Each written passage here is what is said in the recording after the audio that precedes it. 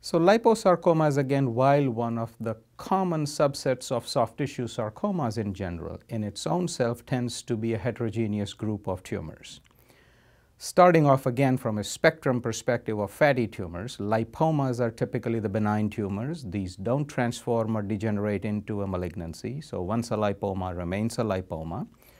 But within the malignant spectrum of these fatty tumors or lipomatous tumors, you have a low grade or grade 1 variant called atypical lipomatous tumor, what used to be called well differentiated liposarcoma.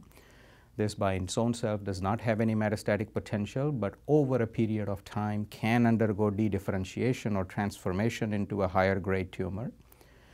The intermediate grade tumor would be a myxoid liposarcoma. These can be more aggressive with a higher proportion of what is called round cell component. And then the high grade liposarcomas would include pleomorphic liposarcomas and the dedifferentiated liposarcomas where the well-differentiated liposarcoma transformed into a higher grade spindle cell sarcoma, thus rendering the clinical diagnosis of a dedifferentiated liposarcoma.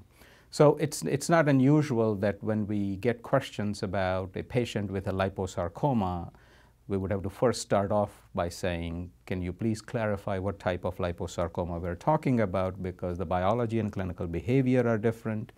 Metastatic patterns can be different, and certainly there may be also some therapeutic significance in each one of these subsets that would be quite relevant for a given patient.